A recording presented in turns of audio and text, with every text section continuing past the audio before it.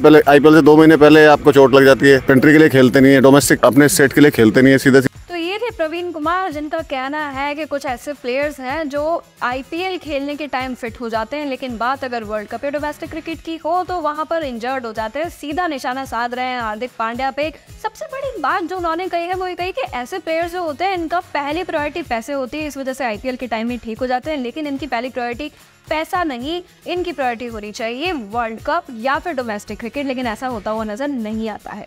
बिल्कुल उर्विका अगर अजय जडेजा की बात करी जाए तो उन्होंने कहा था कि हार्दिक पांड्या जो है वो रेयर टैलेंट है और रेयरली मैदान में नज़र आते हैं। इरफान पठान की बात करी जाए वो भी जो है कुछ वक्त पहले बैश करते हुए नज़र आए थे हार्दिक पांड्या को। यहाँ पर अगर हम इसी से रिलेटेड बात करते हैं तो एक जीता जाता एग्ज़ाम्पल है मोहम्मद शामी के इतनी इंजरी होने के बावजूद वर्ल्ड कप में अच्छा प्रदर्शन देते हुए नज़र आए थे और आईपीएल में मिस करने वाले हैं क्योंकि वो इंजर्ड है। यहाँ पर जो है शामी की बात हमने करी तो शामी ने मैंने आपको बताया कि किस तरीके से वर्ल्ड कप में अच्छा प्रदर्शन था।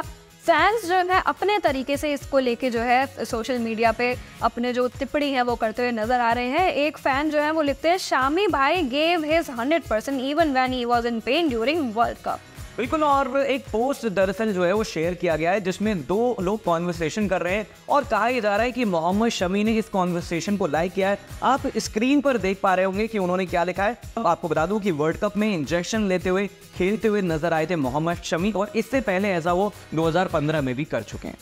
बिल्कुल, और यहाँ पे जो है भाषा थोड़ी सी ऐसी हो जाती है, जो हम बोल नहीं सकते, लेकिन हाँ सीधा निशाना जो है यहाँ पे हार्दिक पांड्या पे लगाया गया है। बात अगर अब हम रोहित शर्मा की करते हैं तो युवराज सिंह जो है, उनका ऐसा कहना है कि रोहित शर्मा जो है, इतने टाइटल्स अपनी कैप्टनसी में ला चुके हैं मुंबई इंडियंस के लिए तो एकदम से ही उन्हें कैप्टनसी से हटा देना जायज़ नहीं था।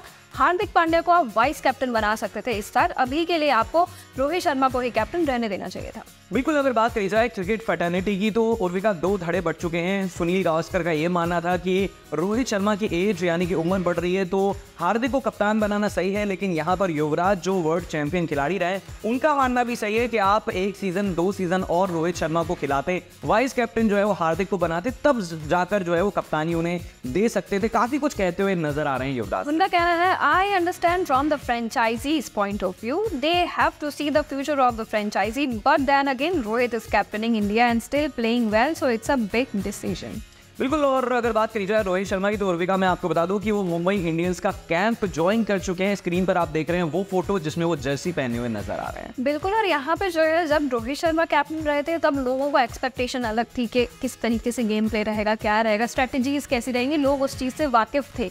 अब मुझे ऐसा लगता है कि हार्दिक पांडे आएँगे तो स्ट्रैटेजीज चेंज हो जाएगी, लोगों का पॉइंट ऑफ़ व्यू चेंज हो जाएगा। तो सबसे बड़ी बात यही है कि फैंस जो है वो इसीलिए दो गुट में बढ़ चुके हैं क्योंकि रोहित शर्मा के फैंस अलग हैं और हार्दिक पांड्या के फैंस अलग हैं और मुझे लगता नहीं कि हार्दिक पांड्या के फैंस उस लेवल के हैं जिस लेवल के रोहित शर्मा के हैं।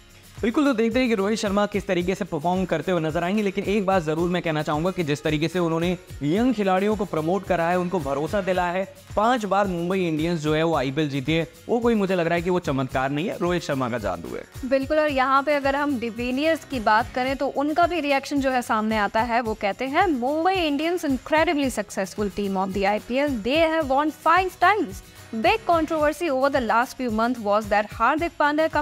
in as a new captain in the place of Rohit Sharma. They seem to be happy though. They seem to have moved on. It's a great to have Hardik Pandya back in the blue at his home team, playing for the Mumbai Indians. They will be starting against Gujarat Titans. How ironic is that? बिल्कुल, अगर de Villiers की बात करी जाए तो उनको लगता है कि मुंबई में सब कुछ ठीक हो गया लेकिन मैं आपको बता दूँ कि शुरुआत के सूर्य कुमार यादव दो मैच नहीं खेलेंगे। और जहाँ तक रोहित शर्मा और बुमराह की बात है तो ये भी हमें पिछले कुछ दिनों में देखने को मिला था कि ग्रुप तो बनाया अब। ये ग्रुप में ईशान किशन कहीं ना कहीं हार्दिक के साथ है, और जहाँ तक बुमराह की बात है, सूर्य की बात है तो वो साफ़ तौर पर नज़र आ रहा है कि वो रोहित के साथ है। और वो ऐसा क्यों करते हैं? इसके पीछे की वजह क्या हो सकती है? तो मेरी माने तो मुझे ऐसा लगता है, क्योंकि ऐसे जो प्लेयर्स हैं, जो रोहित शर्मा के सपोर्ट में खड़े हैं उनकी प्रायोरिटी आईपीएल नहीं है, उनकी प्रायोरिटी टीम इंडिया है। कहीं ना कहीं इसीलिए वो रोहित शर्मा को इतना मानते हैं। यहाँ पे अहमति राइडू की अगर हम बात करें तो उनका भी मानना ऐसा है कि रोहित शर्मा जिस तरीके के कैप्टन है ना, वो इतने इतने अच्छे कैप्टन है कि उनके आसपास जितने भी प्लेयर प्रेजेंट होते हैं, उनके बारे में सब कुछ जानते हैं कि किसकी कैसी स्ट्रेटेजीज होती है, क्या माइंड होता है, किस तरीके से वो परफॉर्म कर सकता है।